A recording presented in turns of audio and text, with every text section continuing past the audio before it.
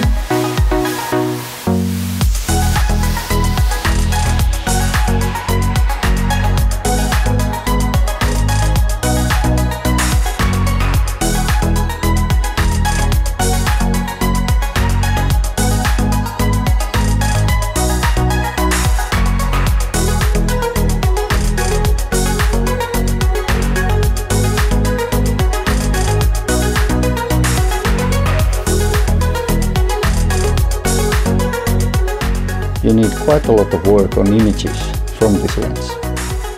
Starting from f6.3, it is best for daytime conditions only.